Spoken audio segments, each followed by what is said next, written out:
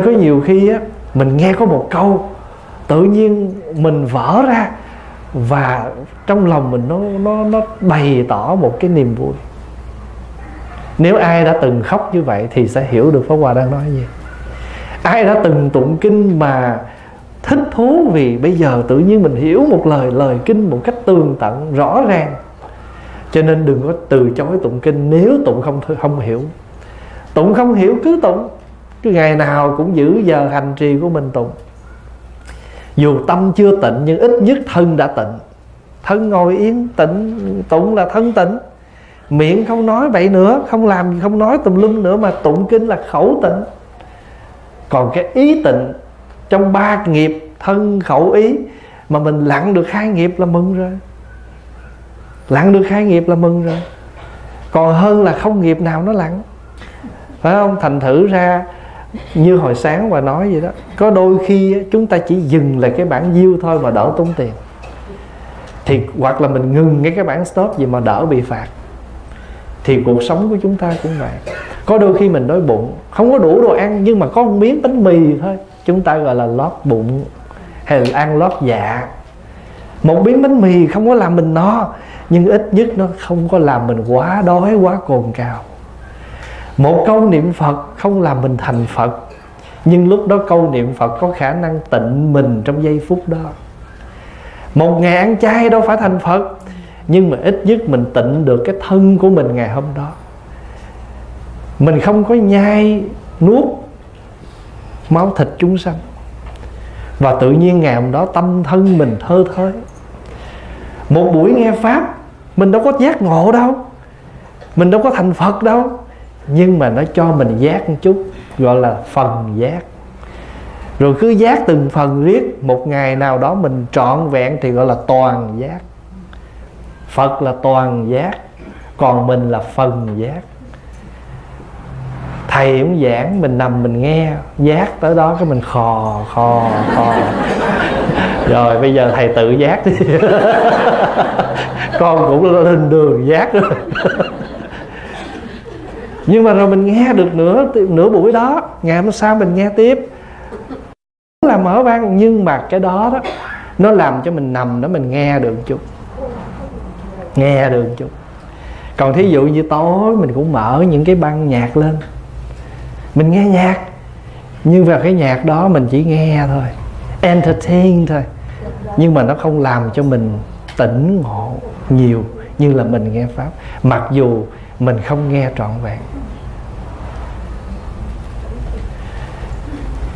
Thí dụ như mình mình nằm đó mình nghe một cái tuồng cải lương. Bộ ông muốn bình giật nó phải không phá đám cưới này tan quan cái mình nói, trời, cái bà này ác ghê người ta trong đó ta diễn tới đâu là mình, tâm ý mình nó đi theo cái đó.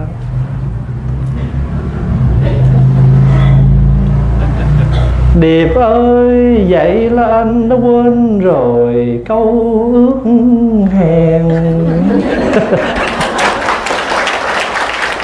Cái bắt đầu cái mình nó sợ sao giống tôi quá. Cho nên mình nghe, có những cái nó nghe, Nó không tăng trưởng cái lợi ích, Mà có những cái nghe Nó làm cho mình tăng trưởng lợi ích. Có những cái thấy nó làm cho con mắt mình nó trong, Nó mở ra cho nên người ta nói đi tới chỗ đó, bữa nay mình học được. Trời ơi, đi tới đó, bữa nay sáng mắt. Tại sao? Tại vì mình đã mở rộng tầm mắt. Xưa nay cái nhìn của mình nó hẹp lắm. Mà cái nhìn mình hẹp cho nên cái tâm mình nó hẹp theo. Mà hôm nay mình nhìn rộng cái tự nhiên cái tâm mình nó rộng ra.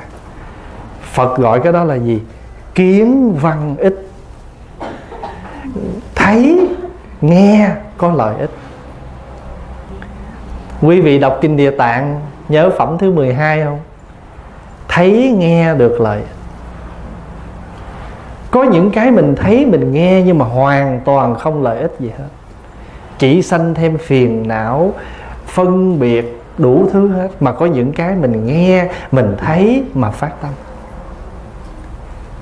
Cho nên á, bà võ tắc thiên á, khi bà nghe pháp phật bà thấm thấu rồi thì bà viết ra cái bài thơ gọi là nghe pháp.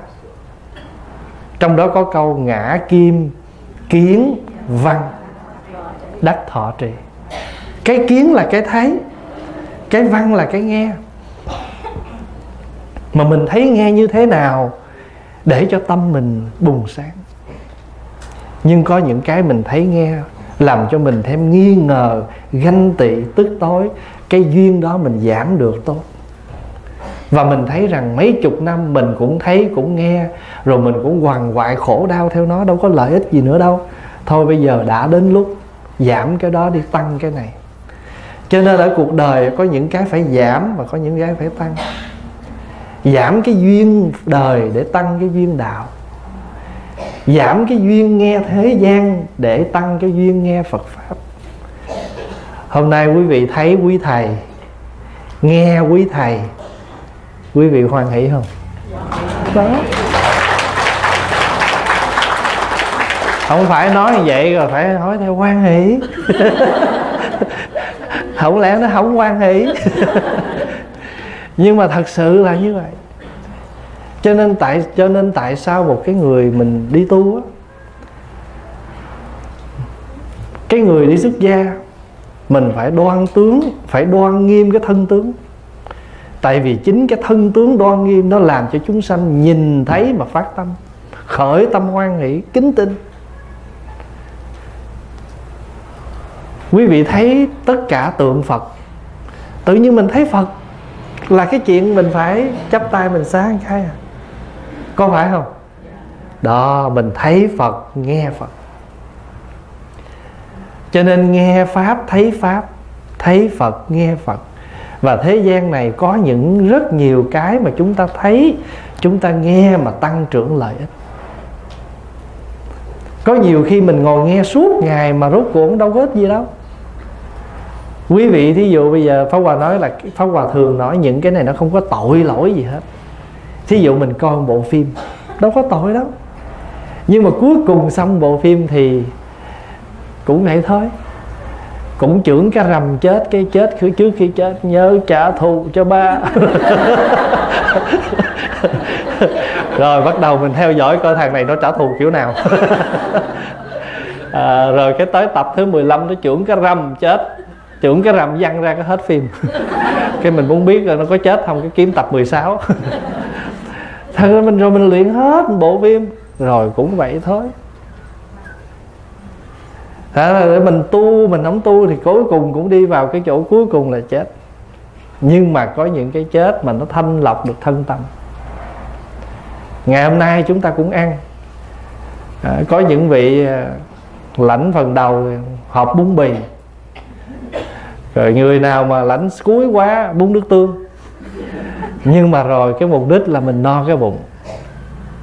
Hương vị nó là gì cũng sao nhưng mà cuối cùng hỏi là ăn gì đó? Ăn chay. Cũng là chay thôi. Cho nên thưa đại chúng là cái thấy, cái nghe nó làm cho mình lợi ích. Không có ai thấy phật mà khởi cái tâm trừ những người bất tín, nhất xiển đề, không còn niềm tin thì người ta thấy những cái thánh tượng, dù là phật hay chúa, thì người ta khởi tâm phỉ bán. Chứ còn ví dụ người đạo chúa, thấy chúa, tự nhiên khởi tâm, kính chúa. Hay là người phật tử, mình bước vô nhà thờ, cũng có sao đâu. Mình gặp cái thánh đường, mình cũng cúi đầu được. Một con chiên đi vào chùa cũng có thể cúi đầu. Tượng phật không có ban phước cho mình. Nhưng mà chính tượng phật làm cho mình có phước. Tại vì biết sanh tâm, cung kính. Quý vị nhớ như vậy tượng phật không có ban phước cho mình, nhưng mà tượng phật có khả năng giúp chúng ta tạo phước. Quyển kinh mình tụng á, không phải tụng cái quyển đó mình thành đạo. Nhưng mà nhờ mình kính tin, mình kính cái cuốn kinh đó, cho nên mình trân trọng, mình giữ, cho nên mai mốt mình có, mình đọc nữa.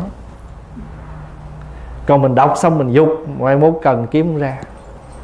Còn mình có giữ cuốn đó thì mai mốt mình cần nó có cho nên cái thấy, cái nghe được lợi ích. Đó là cái lợi ích thứ nhất của việc tu tập của chúng ta. Hôm nay đại chúng đã là, ngày hôm nay đại chúng ngồi đây là quý vị chứng được sơ thiền, ly sinh hỷ lạc.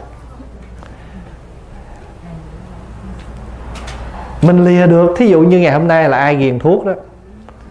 Mà ghiền thuốc mà ví dụ như nói với mình, hôm nay tôi sẽ cố gắng không hút thuốc không, dù ăn cơm xong nó thèm lắm mà không hút thuốc. Bỏ được cái ly điếu thuốc 10 điếu thuốc ngày hôm nay là ly sinh hỷ lạc. Pháp Hòa biết là trong cái buổi ờ, Phật Pháp ngày hôm nay với ngày mai đây, Có những Phật tử ở rất xa.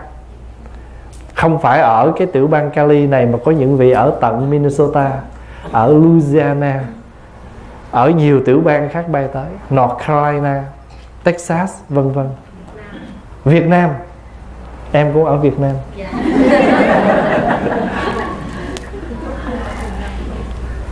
Đó là cái mà Cái lợi ích thứ nhất là kiến văn ích. Cái lợi ích thứ hai Của sự tu tập nghe Pháp là gì? Phát tâm ích. Nghĩa là lợi ích Khi chúng ta phát tâm. Nghĩa là khi chúng ta làm cái gì đó Người khác người khác thấy người ta phát tâm theo có lợi ích Phong vào ví dụ, Mình đi dự khóa tu, Người bạn không biết phone thăm mình. Ấy chị ơi, tuần tới em rủ chị đi ăn với em được không? Ồ, tôi xin lỗi nha, tôi đăng ký, tôi đi dự tu học rồi. Ủa, vậy hả? Vậy còn chỗ không cho em đi với. Thì mình khởi cái tâm, mình khởi mà người khác tùng theo. Cái đó gọi là phát tâm ích mà thưa đại chúng khi mình làm bất cứ việc gì thế gian này mình muốn có ích lợi trọn vẹn thì làm hãy nên phát tâm làm chứ đừng làm miễn cưỡng. Làm phải phát tâm. Thí dụ như là hôm nay quý vị phát tâm vô đây tu học đâu có ghế ngồi trừ những bậc thượng tọa. À, ngồi trên là hàng thượng tọa hết. Mình còn đại đức ngồi dưới.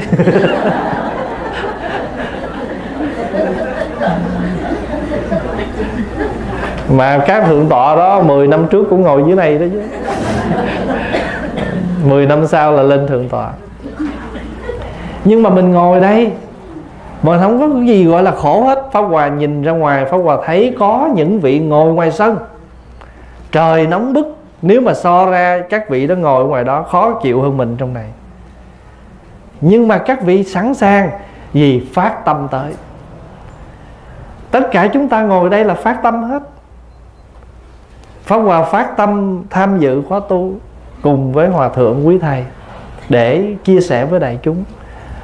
Cho nên cổ đưa lên một cái lịch dày đặc. Mình cũng phải phát tâm nói. Tại vì ở dưới này người ta phát tâm nghe. Cho nên mình làm cái gì mà khi mình phát tâm á, cái tâm mình có nhưng mà đôi khi mình chưa phát. Có nhiều khi mình thấy người ta khổ chứ mình bình thường đến khi nào mình thấy người ta khổ và cái tâm mình biết thương á, là phát rồi đó.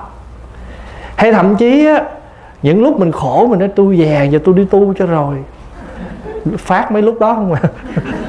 Phát mấy lúc mà trời ơi, đất hỡi nhưng mà không sao. Có phát như vậy rồi có một ngày nào đó nó thuần thục. Đến khi nào nó phát nguyện viên mãn như đức thế tôn quý vị đừng nghĩ là đức thích ca mâu ni chỉ phát tâm một đời này đâu nha. Ngài đã phát tâm rất nhiều đời và nhiều kiếp. Cho đến khi mà ngài phát đến mức độ là sẵn sàng bỏ cả tất cả để mà đi vào con đường tu tập đó, cái người đó phát lớn đó. Cho nên cái đó gọi là phát đại đạo tâm. Quý vị nhớ không? Tự quy y phật, cầu cho chúng sanh. Gì nữa? Phát tâm vô thượng. Hiểu rõ đạo lành hay là hiểu rõ đạo cả, phải không? Phát tâm vô thượng. Chỉ có khi nào mình phát được cái tâm cao thượng là vì sao? Mình thấy được cái con đường đó, cái đại đạo đó. Mà chúng sanh mình bây giờ thì mình cũng phát tâm lắm, nhưng mà cái kiểu phát tâm mình nó khác. Hỏi, tại sao chị giận? Nói, nó chọc ghẹo gì chị giận? Đâu chọc gì tôi tại vì nó chọc tức bạn, tôi tôi phát khùng tôi tức phụ. Có nhiều khi mình phát tâm mà mình phát xong rồi hỏi có lợi ích gì không? Nhưng mà có những cái mình làm mà người ta phát tâm theo mình phải hoan hỷ, tại vì nhờ mình phát tâm mà người ta phát tâm theo. Đó, ví dụ như à, mình tổ chức lễ trai tăng, cúng dường cái tự nhiên phật tử ta đi chùa ta thấy bữa nay chư tăng đông quá, nhờ cái duyên mình mời mình thỉnh cho nên ta phát tâm theo. Đừng có buồn. Đừng có cản, đừng có nói không, bữa nay của tôi. Rồi chị phát rồi tôi chia sao? Không có đâu. Người ta càng phát tâm nhiều, mình càng có phước lớn. Tại vì mình là cái chỗ gieo duyên. Nếu mình không là cái khởi duyên để thỉnh tăng thì làm gì tăng tập hợp?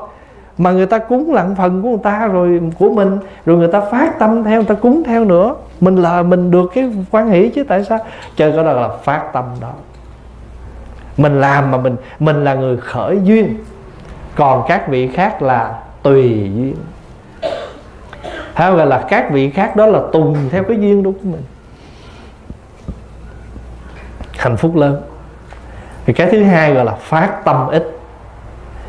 Làm việc gì phải phát tâm. Thí dụ mình tụng kinh, phát tâm. Tại vì khi mình phát tâm mình tụng tụng hạnh phúc lắm còn mà mình không phát tâm lên tụng cho có tụng lấy lệ năm mười phút rồi đi xuống. Thậm chí mình làm cái gì cho ai mình hãy phát tâm mình làm. Vì khi mình phát tâm là cái tâm mình nó trọn vẹn nó có mặt cho cái việc đó. Cái thứ ba gọi là gì? Cái thứ ba là tạo tu ích.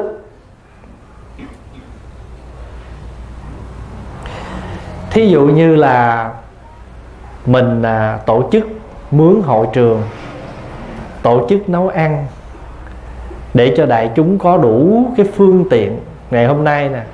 Quý vị thấy chỉ có ngày tu học đơn giản vậy thôi mà phải đi mướn chỗ nè, phải kiếm người nấu ăn nè, kiếm người dọn dẹp chân hoa nè rồi kiếm người phải à, quay phim chụp hình nè, thâu à, nè, có người set up âm thanh nè. Tạo tu là gì? Chúng ta hãy tạo mọi phương tiện tạo mọi hoàn cảnh để cho người khác có đủ cơ duyên tu tập. Có ích lắm, có lợi lắm. Trong kinh nói, quý vị nhớ có những ông vua thấy chùa hư kinh rách, người nghèo. Ông chẳng những kêu gọi người khác phát tâm mà ông còn đích thân ông làm nữa. Quý vị thấy không?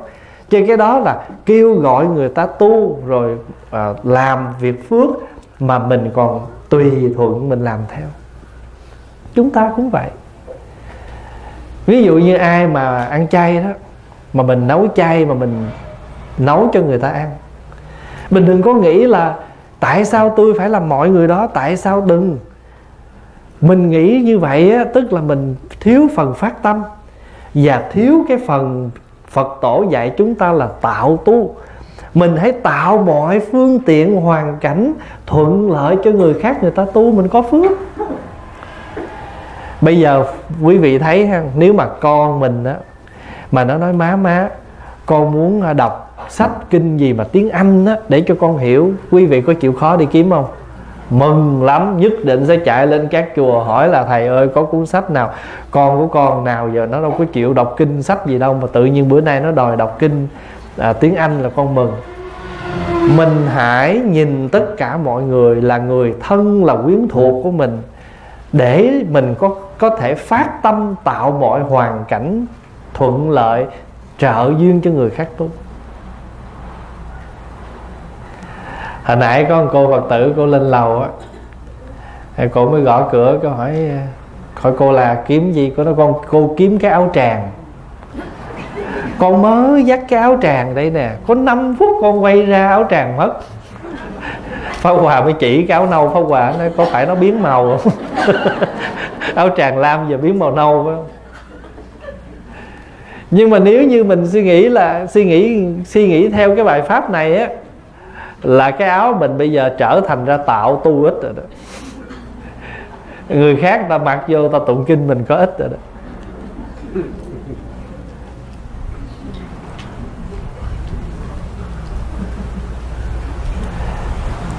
Pháp Hòa có một chú tiểu ở chùa. Năm nay chú 18 tuổi rồi. Chú đi xuất gia hồi chú 3 tuổi. Thầy chú này đặc biệt là có tiền nhiều là đi mua chuỗi với Phật. Đi mấy tới mấy cái chùa Đài Loan, thỉnh Phật, thỉnh chuỗi. Mà Phật tử nào mà về chùa mà tham dự khóa tu hay thăm chùa mà gặp chú mà người ta nói người ta thích tượng Phật, thích chuỗi, giờ chú kiếm cách chú cho. Chú đem chú tặng. Mà chú thỉnh nhiều cái tượng phật đẹp, dễ thương lắm. Mà chú đem chú tặng hết trơn rồi Pháp Hòa hỏi sao của con đẹp vậy mà con cho? Con nói chú mới nói tại con thấy cái cô Phật tử đó, đó cô thích con tặng cho cô. Đến cái mùa học cuối năm á, là chú cứ xin chuỗi Pháp Hòa đó, đem vô tặng cho cô giáo thầy giáo.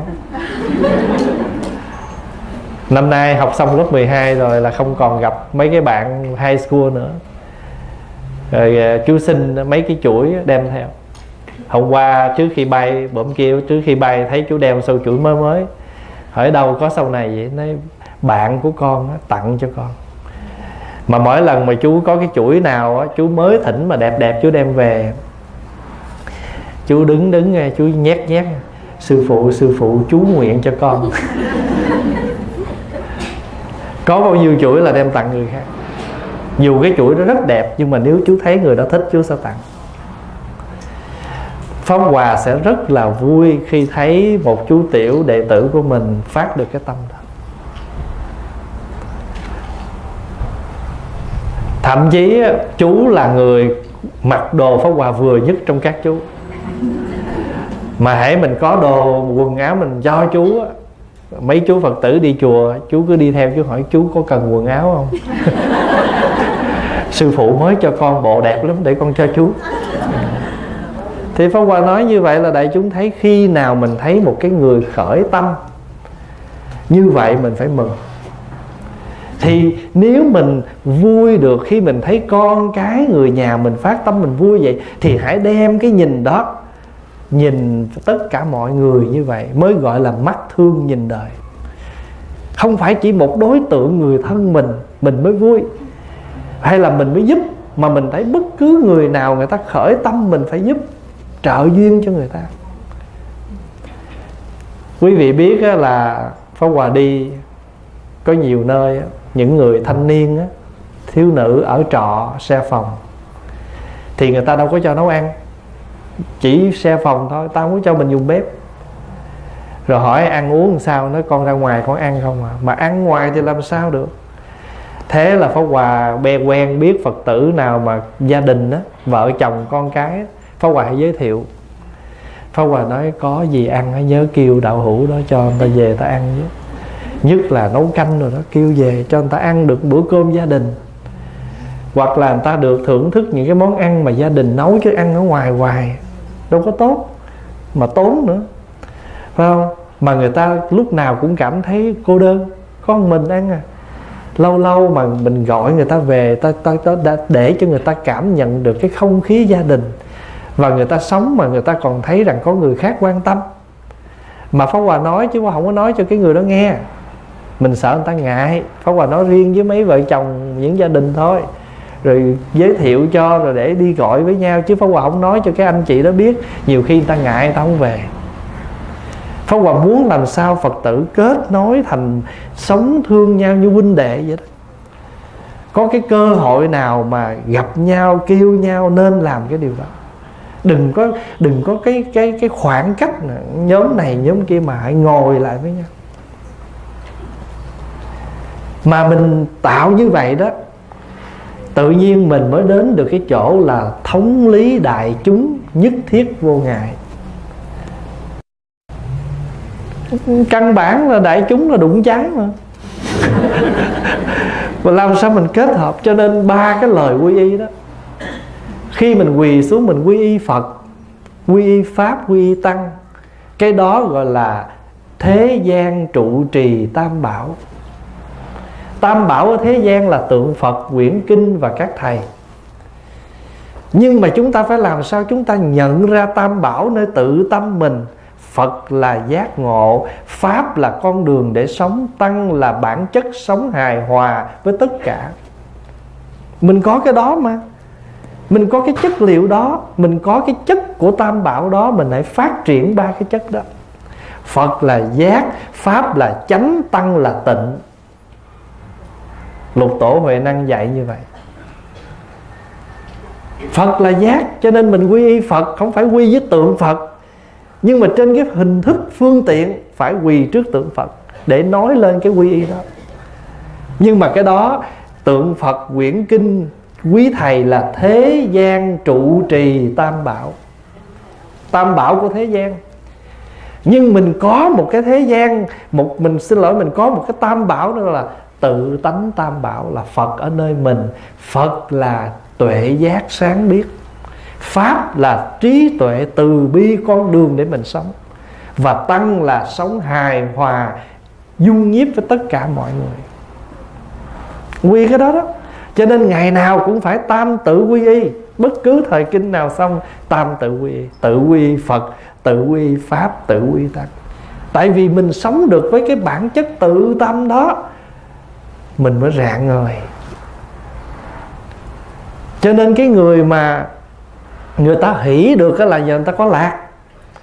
Mà cái hỷ là cái ở bên ngoài, cái lạc là cái vừa tường tận bên trong cho nên chữ tu á, quý vị hay xài chữ tu tu đó. Tu, nó còn có một loại tu gọi là lạc tu. Lạc tu là sao? Nghĩa là bất cứ hoàn cảnh nào, phương tiện nào, giờ phút nào, tâm mình cũng yên, cũng lạc. Cái đó là lạc tu. Trường thời tu, lạc tu. Tu là tu hoài, tu mãi, không phải chỉ có một khóa đâu phải vô hai ngày này rồi mới tu, rồi mấy ngày kia mình nghỉ tu. Hai ngày này chỉ là một cái khóa để cho chúng ta có một cái cái thời gian nào tập trung để huân tu. Rồi về nhà ứng dụng cái đó tu mỗi giây, mỗi phút, mỗi ngày, mỗi tháng, mỗi năm. Cái đó gọi là trường thời tu. Chữ tu không mấy nghĩa đó. Trường thời tu mà lạc tu là gì? Vui bằng mọi phút, mọi giây. Cho nên mình tạo được cái duyên cho người khác tu là cái phước của mình. Có những hòa thượng á, ai vô ngày cũng nhận. Già trẻ bé lớn gì sắp đi rồi ngày cũng nhận. Ở hòa thượng nhận chi cho đông? Nói tôi đâu phải ham đệ tử đâu. Nhưng mà tôi gieo duyên cho người đó cho nên á, tại sao đi xuất gia gieo duyên? Vì mình chưa được thực hiện cái lý tưởng xuất gia của mình. Thì ở đâu có tổ chức xuất gia để gieo cái duyên thôi? Thì chúng ta tới chúng ta giữ. Ba ngày năm ngày mà không cần cạo đâu muốn cạo cũng được còn không cạo chỉ nhá kéo để gieo cái duyên đó thôi. Xưa nay mình chưa bao giờ được làm cái lễ chư thầy, quý chư tăng rải cái nước trên đỉnh môn của mình. Cái lời khai thị tóc của quý vị từ vô lượng kiếp sanh tử. Phiền não trần lao.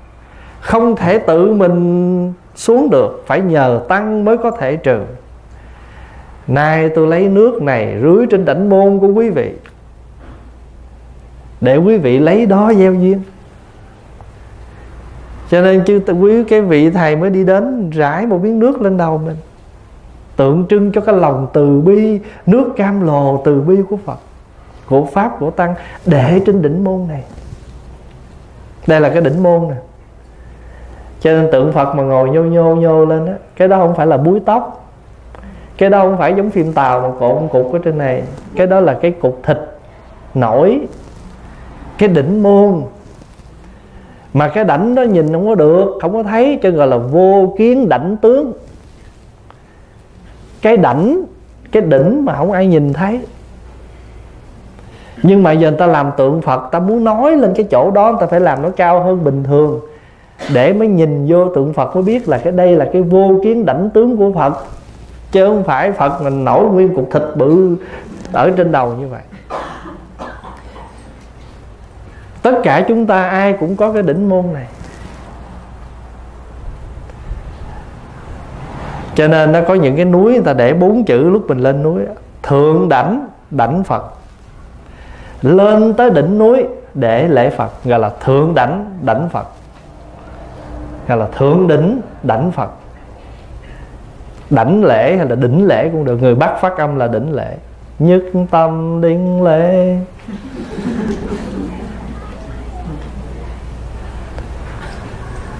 Đảnh đỉnh thì cũng một chữ đó. Lư hương là lô hương gì một chữ. Ngày xưa bản kinh ngoài bắc là lô hương xạ nhiệt. Sau này mình phát âm là lư hương xạ nhiệt. Kiến văn ít là gì nữa? Phát tâm ít, tu tạo ít. Cái thứ ba, cái thứ tư là gì? Đốn đắc ít chữ ít này là ít lợi đó nha. Chữ đốn là gì? Đốn là gì? Đốn là chặt. Đốn là nhanh là mau. Quý vị hay tụng buổi kháng thập địa đốn đó, nhớ không? Cái bài công phu sáng bài hồi hướng thượng lai hiện tiền thanh tịnh chúng phúng tụng lăng nghiêm chư phẩm chú, hồi hướng tam bảo chúng long thiên. Thủ hộ già lam chư thánh chúng. Là gì nữa? Tam đồ bát nạn câu ly khổ, tứ ân tam hữu tận tri ân quốc giới an ninh binh cách tiêu.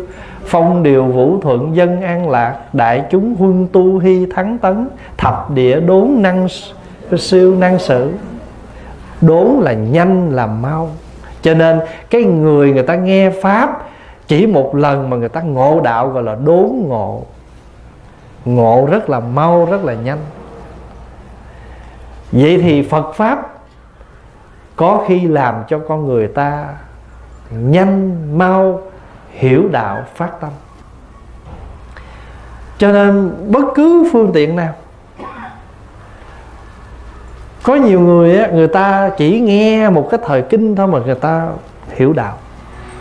Tại vì người ta có được một cái nhận rất là sâu. Cho nên kinh điển á, có thấp cao tại sao vậy?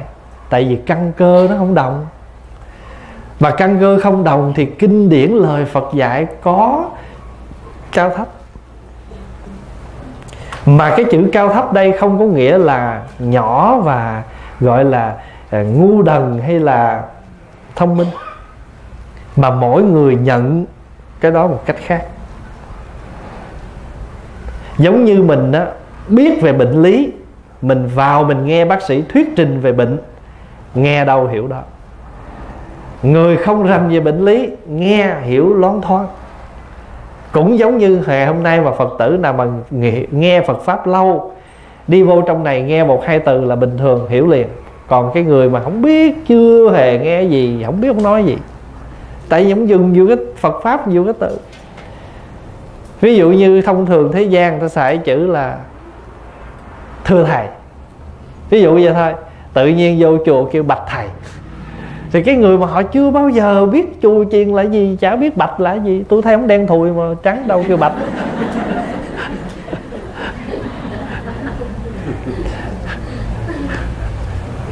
Thế tới giờ ờ, mình để trên cái bảng 6 giờ tiểu thực. Thì mình chưa bao giờ biết mấy cái chữ đó, thì mình chả, mình chỉ hiểu cái tiểu kia chứ chưa bao giờ biết tiểu thực là gì dù cái người nào mà trong chùa lâu năm thì nghe chữ tiểu thực là biết liền. Rồi có nhiều chỗ ta không xài chữ tiểu thực, mà ta xài chữ dược thực. Trời ơi, dược thực chết lớn nữa. Ở dược là gì? Dược là thuốc, thực là ăn. Ăn thuốc là ăn gì? Tôi có bệnh hoạn gì đâu ăn thuốc. À thì mình hiểu là lẽ ra không có ăn chiều. Nhưng mà nếu không có ăn thì quý vị sẽ đau bệnh lên đường, tiểu đường lên đường, xuống đường. Cho nên phải cho quý vị ăn. Cái đó ăn như món thuốc để trị bệnh, cho gọi là dược thực. Cho mai mốt mà vô chùa thấy ta để cái bảng 5 giờ chiều dược thực là biết rồi đó, ăn chiều. Và xem món ăn như món thuốc. Và chính vì ăn như thuốc, cho nên không có được, đừng không được khen chê. Ăn là thuốc trị bệnh, không ăn là đói, là lên máu, xuống máu, lên đường, xuống đường. Tại tôi bây giờ ba cao một thấp. Cao đường, cao mỡ cao máu và phong thấp. Gọi là ba cao một thấp. Và tiền lương của người già ở mỹ vẫn thấp, hơn so với tiền lương người già ở canada. Ở đây tám trăm rưỡi tháng, phải không? Canada ngàn sáu. Người nào mà ở nhà con còn nguyên ngàn sáu. Ăn free, ở free.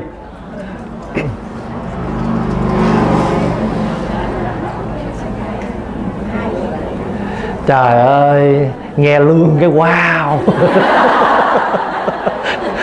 Nãy giờ nói quá trời phật pháp mà không wow.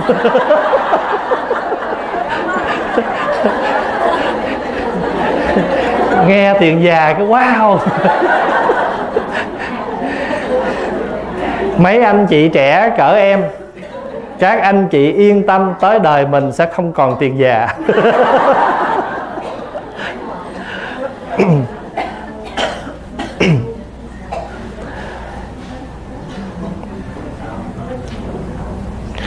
Tất cả các giáo pháp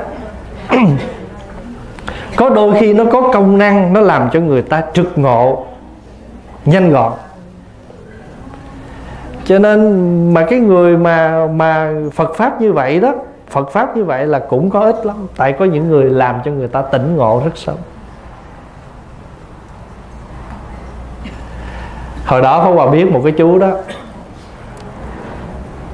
Má chú biểu chú đi à, chợ mua thức ăn gì đó rồi chú la cà chú đi chơi làm sao chú mất tiền? Chú làm mất tiền cái về nhà thì đi tay không về đâu có gì đâu. Trong khi bà già tức quá cầm chiếc dép phan chú. Cái thằng báo đời.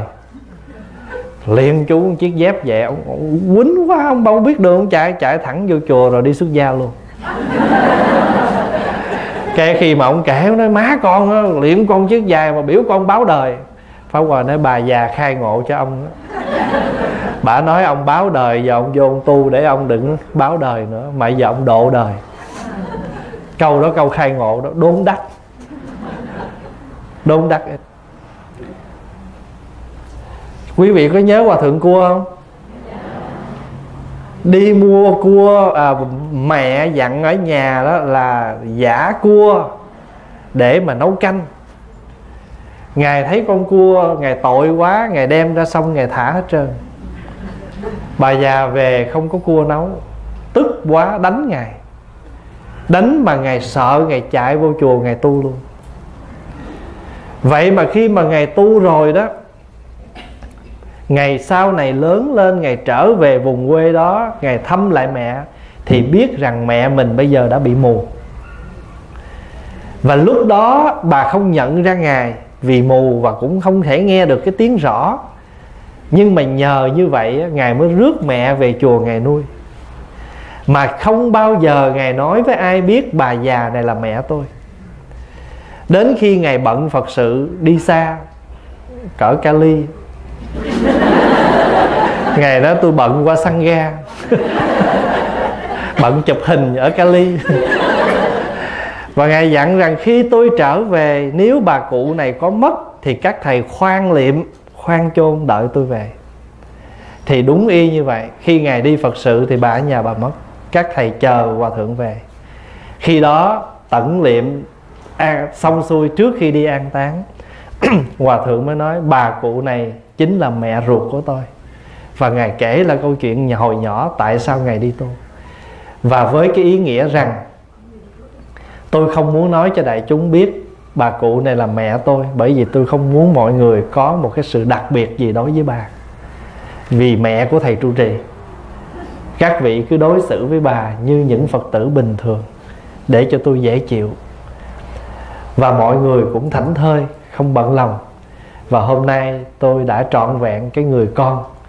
Khi mà mẹ còn khỏe, thì mình lo cho chúng sanh khi mẹ già, mình tạm dừng công việc đó, mình trở về, mình lo cho mẹ già. Về cái đó là cái hạnh của người tu. Cho quý vị thấy có nhiều người á, người ta không có đi chùa. Tự nhiên người ta nghe có một bài pháp thôi và từ đó tâm người ta phát. Và người ta bắt đầu nghe pháp tu hành. Tại sao? Vì người đó có được một cái gọi là đốn đắc ích. Người đó ngộ đạo rất mau. Cái thứ năm, khi chúng ta nghe phật pháp, chúng ta có được một cái lợi ích thứ năm, gọi là diệt chướng ích. Diệt là gì? Trừ là dẹp đi. Chướng là cái gì đó nó trở ngại mình. Bây giờ pháp hòa thưa đại chúng, ở trong mỗi người chúng ta chúng ta có cái chướng không? Có có nhiều khi mình chướng lắm, chịu không có nổi. Chướng dữ lắm. Nhưng mà khi mình tu hành rồi, mình phải biết, mình phải thấy cái chướng đó của mình để mình diệt đi. Mình diệt chướng để làm gì? Thứ nhất, mình là người có lợi ích. Thì mình sống không bị cái chướng nó khổ, làm khổ mình nữa. Và đồng thời người xung quanh của mình cũng không bị khổ bởi cái chướng của mình. Hồi nhỏ, pháp hòa được mệnh danh là ba gai. Cái ba gai của mình là đơn giản lắm, rất là chấp vào những cái hình thức. Thí dụ như một vị nào mà không nghiêm túc là mình không thích. Và thậm chí không thích, nịnh bợ, không thích gọi là xu hướng. Cái gì là phải rõ cái nấy không ai nói mình được tại mình nói có lý. Nhưng mà ta thấy được cái chướng của mình. Mỗi lần vậy nó thôi trời ơi ba gai bốn góc hoài mệt quá. Mà quý vị biết không có nhiều lúc á, những bậc lớn á, hiểu mình thương mình cho nên các ngài nói sao? Khi nào con lớn con ở vị trí của quý quý thầy hiện tại thì con sẽ biết con phải làm gì. Mà cái điều đó ý khi mình nhỏ mình sống rất là nguyên tắc nhưng khi mình càng sống trong đời rồi á thì mình biết rằng cái uyển chuyển là gì. Cái linh động của mọi sự mọi việc là chi? Ví dụ như á, mình à, mình à, mình niệm phật bất cứ ở đâu bất cứ hướng nào chứ đâu nhất thiết là mình phải hướng về hướng tây. Mới gọi là gọi là à, quy mạng lễ a di đà phật ở phương tây thế giới an lành. Mình nghĩ là phải niệm phật phải xoay về hướng tây và thậm chí nhà mình không có đúng hướng tây mà đặt cái bàn thờ ngay hướng tây nhìn vô nó kỳ cục cái bàn thờ mà cũng phải đặt như vậy thì nó không đúng. Cái đó là một loại chướng. Đó là pháp hòa nói chướng tự thân nha. Còn bây giờ mình nói tới ngoại chướng, cái đó là nội chướng. Còn cái ngoại chướng là gì? Tức là những cái mà người ta cản trở bên ngoài mình. Người tu của chúng ta luôn luôn mong mỏi trừ hai cái chướng. Đó là nội chướng và ngoại chướng. Nội chướng là tự mình. Một tự mình mình sanh khởi bao nhiêu cái cái chướng khí trong người của mình. Có nhiều khi tánh tình mình kỳ cục thì cái người thân của mình nói sao? Cái người kỳ ghê, chướng ghê vậy đó. Người khi người ta bực bội quá ta nói một hai câu, người rất là chướng cái đó là cái nội chướng mà thưa đại chúng, cái người mà nhiều, sống nhiều cái chướng đó vậy, cái nét của họ nhìn đó, vui hay buồn? Lúc nào người nhìn cũng nhăn nhăn. Không? cho nên đó là tự động nó có mấy đường hẻm chỗ này.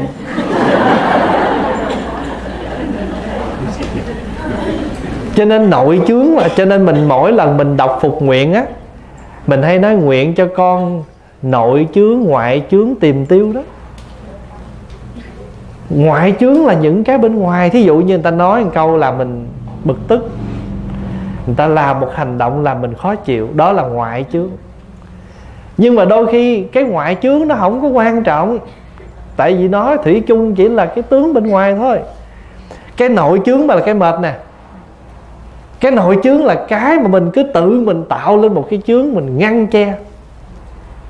Thí dụ như hãy uh, đi đâu đó hỏi có người đó đó cái thôi tôi cũng đi có nó tôi cũng đi. Mắc mớ gì đâu. Mà người đó bây giờ tự mình sanh cái chướng với họ rồi họ trở thành cái ngoại chướng của mình. Cho nên đó mình nghe kinh nghe phật mà diệt được cái chướng nào chừng nào đó thì ít lợi chừng đấy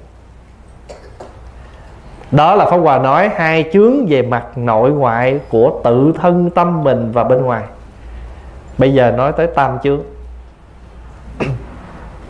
Ngày nào cũng nguyện hết á. Nguyện tiêu tam chướng, trừ phiền não. Mà mình tụng quá trời quá đất. Ba chục năm nay không ngày nào không nguyện tiêu tam chướng. Mà không nguyện trừ phiền não. Tam chướng là gì? Một là phiền não chướng. Hai là báo chướng ba là nghiệp chướng. Thế nào gọi là báo chướng? Cái cái khi mà mình khởi phiền não, rồi mình nói năng tạo thành nghiệp, rồi cuối cùng nó trở thành ra quả báo nó chướng mình. Phong hòa ví dụ ha. Phiền não là mình thấy người ta là mình bực, mà khi bực rồi là đâu có nín được, phải nói mà nói thì tạo gì? Tạo nghiệp. Thì khi mình nói đó là tạo nghiệp chướng đó, còn khi mình khởi bực là phiền. Phiền não. Phiền não phối hợp với nghiệp bắt đầu ra quả, cho nên là báo chướng. Thí dụ như giờ nói, trời ơi, bây giờ á không ai tới cái gần cái cô đó được hết. Cái đó là báo chướng đó tại vì mình sống bằng phiền não và nghiệp chướng riết, người ta sợ mình hết. Phải không? Người ta hát cái bài chung một đường gặp nhau cứ làm ngơ.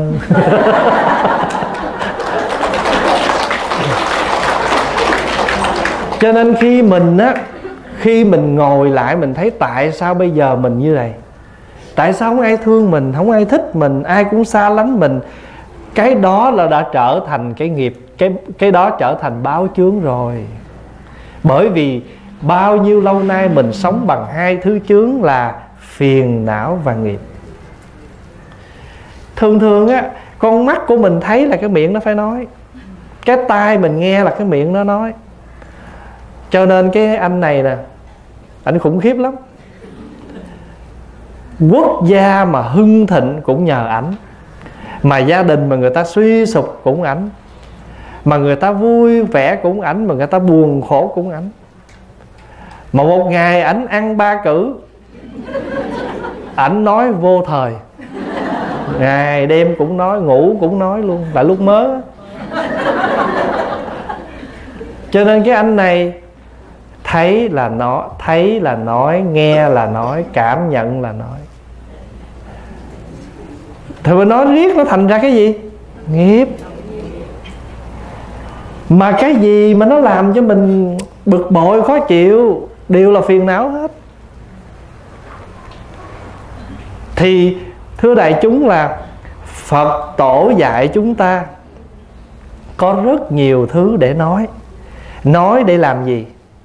Nói để chúng ta kiến, thấy và chúng ta nghe là văn để lợi ích cho cho mình thí dụ bây giờ mình không nghe tam chướng là gì, thì làm sao mình biết giải trừ tam chướng? Cho nên nhờ nghe tam chướng cho nên lợi ích vô cùng, gọi là kiến văn ích. Rồi nghe xong rồi bữa khác ứng dụng, thấy ai bản thân mình hay người khác khởi cái đó, đặt tên đó, đây, nó ăn cái đó kệ, nó mắc mớ về tới mình mà mình khó chịu, mình khó chịu là phiền não. Rồi nói lấp chách chách chách bên tai nó là nghiệp rồi mai mốt nó nói má khỏi nấu nữa con ăn ngoài. Bây giờ vậy? Báo. Cho nên nó đâu có xa đâu. Tam chướng nó không xa mà mục đích mình tu để làm gì? Để diệt chướng. Thưa đại chúng là quý vị đừng có chờ tu mấy chục năm rồi tối hồi mình mất á, mình mới được về trển ngay ở dưới này mình tu là mình có lợi ích liền. Hồi nãy mình nghe rồi đó, đốn đắc ích nghĩa là mình tu tới đâu là mình có lợi tới đó. Thí dụ như hôm nay quý vị ở chùa đây, ở ở cái cái cái trung tâm tu học này nguyên một ngày nè, là biết bao nhiêu cái đỡ tốn? Chỉ có trung tâm tốn thôi.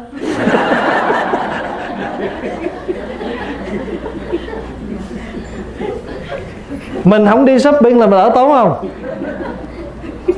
Thành nữ ra, mình có lợi ngay tức khắc. Cho nên á, chữ giới á, giới nghĩa là gì? Giới được dịch là biệt giải thoát. Phật tử ai quy y cũng phải thọ giới. Vậy thì mình giữ giới. Giới nghĩa là gì mà phải giữ? Giới nghĩa là biệt giải thoát. Biệt giải thoát là sao? Anh giữ giới nào, anh giải thoát giới đó, anh an vui giới đó ví dụ, anh giữ cái giới không bao giờ đâm bì thóc, thọc bì gạo. Đó là một, là giới thứ tư. Giới thứ tư là giới không nói lưỡi hai chiều. Không nói lời đâm thọc. Không bao giờ sợ người ta kiếm mình đôi chối. Liền giải thoát giới đó. Ví dụ như người ta nói, người đó đó nói tôi, chị cứ đem nó tới đây. Tôi chưa bao giờ nói câu đó, tôi không hề sợ giải thoát liền với đó, không ngán ngẩm ai hết. Có nhiều khi mình nói riết mình quên á. Tôi có nói không? Sao sao lúc này tôi quên? Rồi xong bắt đầu mình excuse. Trời ơi, hơi đâu chị nghe tôi. Cho nên chữ giới gọi là biệt giải thoát chữ giới còn được nghĩa là phòng phi chỉ ác. Phòng là phòng ngừa phi là cái sai quấy chỉ là cái đình dừng lại cái dừng cái chỉ cái đình lại ác là cái xấu. Phòng phi chỉ ác. Phi là lỗi mà cái lỗi mà không trừ thì cái ác nó kế bên. Ví dụ như à, mình khởi cái tâm gì đó, gọi là mới có phi thôi. Cái này phi quá, sai quá. Nhưng mà không trừ riết đi tới hành động là ác. Cho nên á, đừng có giận người ta, tức quá, nó trời ơi, tôi đập nó không họ tôi mà đánh nó chết không ở tù, tôi đánh liền. Đừng nói mấy cái đó. Tuy nói không làm, nhưng mà lâu ngày nó thành ra tập nghiệp tập nghiệp của ác là khởi tâm. Cho nên á, cái việc chướng ích hồi nãy qua nói đó, ở cái mặt hai chướng thì có nội, có ngoại. Ở cái mặt ba chướng thì nó có phiền não, nghiệp và quả báo. Và thưa đại chúng, nếu mà chúng ta chịu khó nhìn lại coi có phải là ba cái này chúng ta dính mỗi ngày không? Không khéo là phiền muộn rồi tạo nghiệp rồi, lãnh cái quả.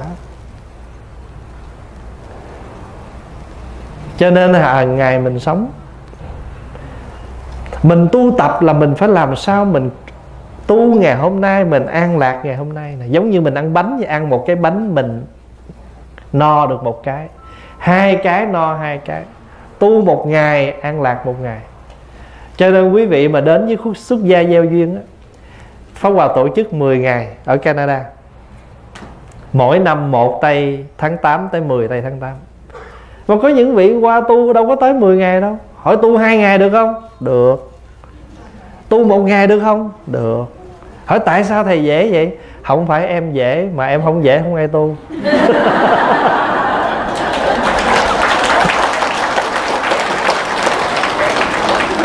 Em biết thân lắm nhưng mà pháp hòa nói như vậy, nhưng mà pháp hòa nói là nếu đã nói là gieo duyên, thì không luận duyên bao nhiêu phải gieo. Mình cho người ta gieo duyên mà bây giờ duyên người ta có nhiều, không cho người ta gieo, thì đợi chừng nào mới được gieo. Cho nên người ta tu một ngày cũng được và tu hai ngày cũng được. Mà quý vị muốn tu luôn nữa thì là welcome.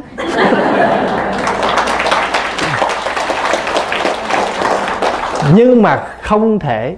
Cho nên đừng nghĩ phải ăn, không cần ăn chay trường. Ăn được thì tốt, chưa trường được cứ bò.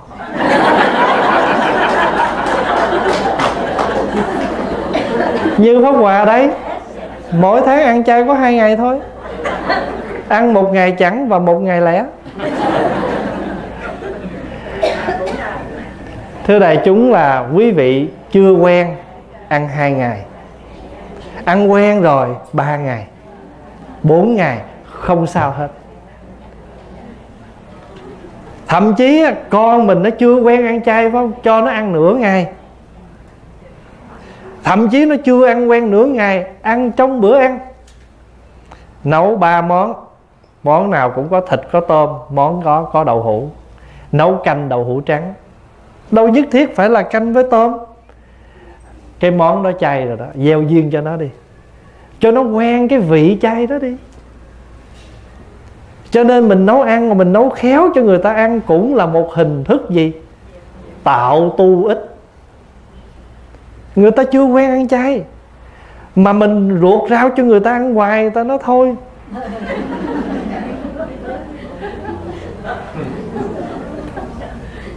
Mình chịu khó mình nấu cho người ta ăn thưa đại chúng là con bò nó ăn chay. Ta ăn cỏ không à? Mà sữa bò uống rất bổ. Uống bổ xương, bổ ốc, tùm lum hết. Vậy mà hễ mà ngu như bò.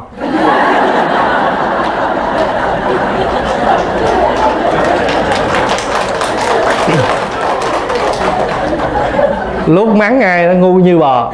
Mà bình thường biểu con rót sữa bò uống con uống chi vậy má? Uống cho thông minh con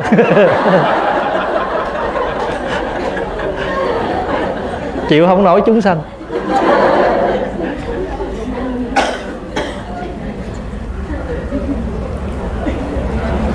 Diệt chướng ít quý vị nhớ tam chướng chưa? Phiền não chướng, nghiệp chướng, bao chướng cái chữ báo là quả báo. Nhưng mà quả báo cũng có tốt, có xấu vậy. Ví dụ như bây giờ mình tụng kinh à, mình tụng chú đại bi 10 năm nay, giờ chú đại bi mình thuộc lòng. Vậy thì thuộc chú đại bi có phải là quả báo không? Quả báo, nhưng mà quả báo tốt, thuộc kinh. Cho nên đừng có sợ chữ quả báo. Quả báo chỉ là cái kết quả, mà có điều là kết quả tốt hay là kết quả xấu. Ví dụ mình đi bác sĩ bác sĩ gọi về báo là, ô, tôi báo chị biết, anh biết nha. Quý vị thử máu kết quả tốt. Đó, cũng là một quả báo. Cũng là cái quả mà quả tốt. Và thậm chí bác sĩ không kêu còn mừng nữa. Bác sĩ mà mà mình đi đi thử máu xong tháng sau không bác sĩ nào gọi hết là mừng. Mà mình khổ cái trong. Sao không thấy gọi? Mà tới hồi ta gọi rồi, ôi, đau đớn thai đó mình cầu mình được nghe bác sĩ mà bác sĩ cũng kiếm mình là có chuyện rồi đó. Cho đi thử máu mà bác sĩ không gọi, y tá không gọi về là phải mừng. Có nhiều khi mình cứ sợ nghe cái chữ quả báo là mình sợ. Tu tốt thì quả báo tốt. Ví dụ bây giờ mình cứ nghe kinh, nghe pháp mỗi ngày, riết cái lâu ngày, tâm mình giờ nó thuần nó thuần rồi ôi, mình thấy cái gì mình cũng có thể sanh tâm ra phật pháp được hết. Nghe cái gì cũng là bài học cho mình tu hết.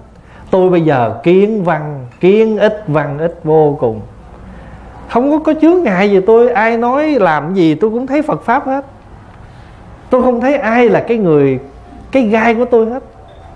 Bữa nào mình sẽ học một bài kinh cây gai cho nên Pháp Hòa thưa với đại chúng nhiều nhiều lần lắm rồi.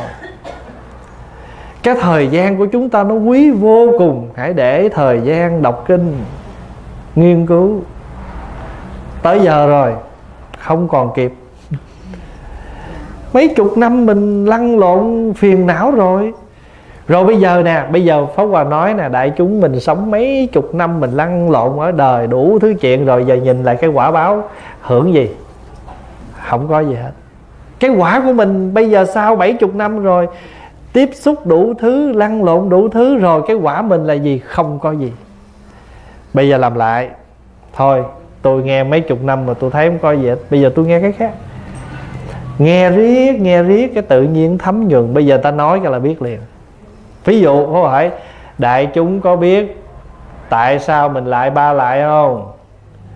Dạ biết tượng trưng cho bộ tam sơn. Trời trời, cái này cũng quả báo à. Chắc thường luộc tam sơn cúng. Biết tam sơn không? Tam sơn là miếng ba rọi, con tôm với cái trứng gà.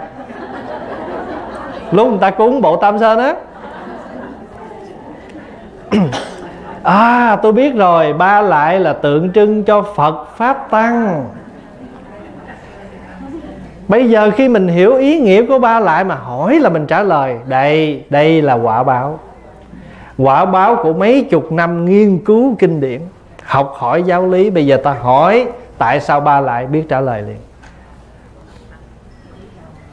Hỏi quý vị có biết tại sao cúng trái cây không?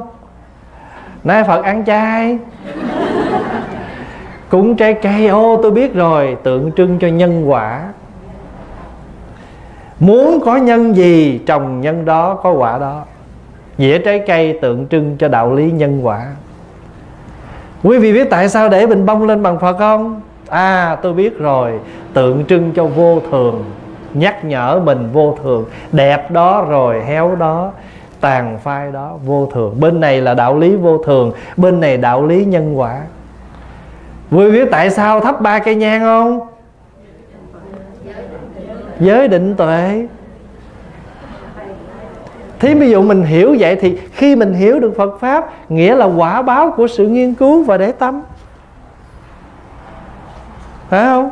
Thì ví dụ như quý vị hỏi à, quý vị biết à, à, tại sao phải à, lại bốn lại không? Tượng trưng cho tứ đổ tường.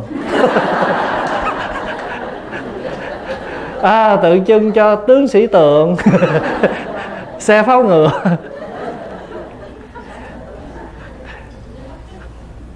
Cho nên, khi mình có nghe phật pháp, càng thấy càng nghe, sanh lợi cho cái thấy cái nghe, gọi là kiến văn ích.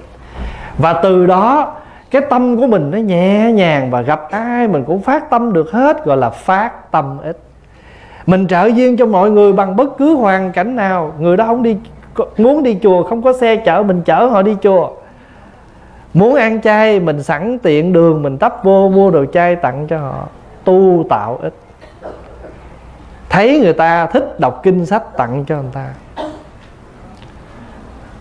Cho nên á, rồi cái người đó người ta, hồi nào giờ ta nghe một ngày nọ, người ta phát tâm, người ta ngộ đạo, gọi là gì? Đốn. Đốn đắc ích. Đốn đắc ích.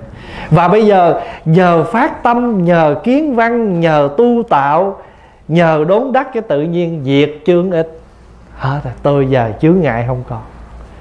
Tôi thấy cái gì cũng là thành ra phật pháp hết. Bây giờ tôi mới thẩm thấu được cái câu phật dạy trong kinh là tất cả các pháp đều là phật pháp, mà con không rõ cho nên mới theo dòng vô minh. Vì thế mà trong trí bồ đề mà thấy không thanh tịnh, trong cảnh giải thoát mà sanh ràng buộc xưa nay tôi sống bằng tự chướng. Tôi tự chướng tôi nhiều quá. Tôi tự tôi tạo lên bao nhiêu cái nghi ngờ để tôi tự tôi làm khổ tôi. Mỗi lần tôi đi về, thầy ông tốt ghê ông đưa tôi ra tới cửa. Mà hồi xưa tôi không chịu à. Tôi nói, ổng nghi tôi ăn cắp xong đi theo tôi. Tôi tự tạo cái chướng không?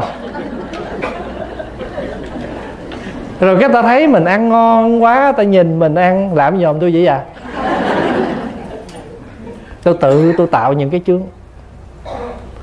Bây giờ tôi thẩm thấu rồi, cho nên quý vị tu làm sao mà mình thấy cái gì cũng trở thành ra phật pháp hết. Cho nên bây giờ mở cửa sổ nha. Mở cửa nhìn pháp thân. Đời màu nhiệm vô cùng lòng dặn lòng tỉnh thức, dòng nước tâm trong ngần. Khi mình mở cửa với cái ý nghĩa là mình mở cửa sổ, nghĩa là mình muốn sáng, mình muốn mọi mình thấy được bên ngoài và bên ngoài đưa ánh sáng bên trong. Có phải vậy không? Khi mình mở cửa sổ đó, là mình muốn ánh sáng bên ngoài đi vào và mình cũng muốn mình thấy được bên ngoài. Thì ngay cái đó là tu rồi. Mở cửa nhìn pháp thân tôi thấy được bên ngoài và tôi, cái cảnh ngoài cũng là cảnh duyên để quán chiếu cho tôi. Mở cửa nhìn pháp thân. Bây giờ tôi thấy, tôi đâu có thấy tôi với người ngăn cại gì nữa đâu. Đời màu nhiệm vô cùng. Có mình mà cũng có ta, có người mà cũng có ta. Hồi xưa tôi hay than lắm, trời sinh du tại sao còn sinh lượng? Bây giờ tôi đâu có thấy nữa. Nếu họ là lượng thì tôi là du thành thử mới thấy là người này có thì người kia mới có. Mình thấy đời màu nhiệm vô cùng, lòng dặn lòng tỉnh thức, dòng nước tâm trong ngần nếu mà tâm mình như một dòng nước, thì mình sẽ phản chiếu, mình sẽ ống ánh được mọi vật trên đời một cách rõ ràng mà không ngăn ngại cái bài tán Phật Bồ Tát Bồ Tát Thanh Lương Nguyệt, Du ư tất cánh không? Chúng sanh tâm cấu tận, Bồ đề ảnh hiện trung. Bài đó dịch nè. Phật là vầng trăng mát. Phật là vầng trăng mát. Đi ngang trời thái không. Hồ tâm chúng sanh lặng, Trăng hiện bóng trong ngần. Nếu mà Phật là một ánh trăng, Mà tâm mình là một dòng nước trong, Thì có phải ánh trăng đó ảnh hiện cái cái dòng xuống dòng nước không? Đó. Như vậy thì Phật mãi là ánh trăng, Quan trọng là tâm mình có là dòng nước không Để soi sáng được ánh trăng đó. Cho nên nếu tâm mình đã soi sáng như vậy rồi, thì mình không thấy ai ngăn ngại, mình thấy người nào cũng là phật, là bồ tát, là những người rất dễ thương. Có thể họ dễ thương mặt này, họ không dễ thương mặt kia. Cho nên đó mình mới có được 500 a la hán quý vị nào đến những cái chùa mà lớn mà người ta có cái vườn ta đặt 500 tượng vị a la hán để xung quanh. Chứ không phải chỉ có 18 tượng 18 tượng là lấy gọn. Còn lấy rộng rãi, lấy đầy đủ là 500 vị. Mà sắc thái mỗi vị mỗi nét có người thì cung tay có người thì hiền diệu. Quý vị nhớ mấy tượng la hán ở các chùa để tại sao tượng la hán mà lại như vậy? Tượng trưng cho cái hạnh của thế gian. Tượng trưng cho mỗi người, mỗi nét, mỗi mỗi cái cái cái pháp tu và mỗi cái hành động. Mình thấy. Ví dụ quý vị vô đây, quý vị ngồi, đâu ai giống ai đâu. Người tóc ngắn, tóc dài, người chảy ngang chảy thẳng, không có người nào. Nhờ vậy mới ra đạo tràng cho nên mình, hôm nay mình học năm cái ít trước, phải không? Kiến văn ít gì nữa? Phát tâm ít tu tạo ít đốn đắc ít và diệt chương ít phim tập đến đây dừng.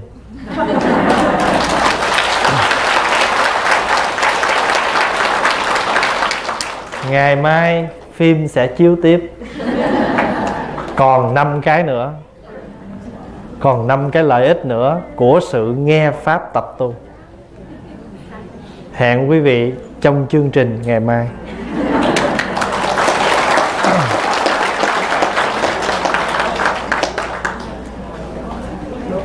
Đây là đài phát thanh khởi xướng từ Sangha Center. Và chúng ta sẽ tạm dừng ở đây nghỉ ngơi trong đôi lát. Rồi quý vị à, uh, không biết có dược thật không? Em không dám nói. Lỡ không có kiếm em sao? Rồi bây giờ à, đại chúng chúng ta chắp tay hồi hướng. Sau đó sẽ, sẽ có chương trình uh, văn nghệ.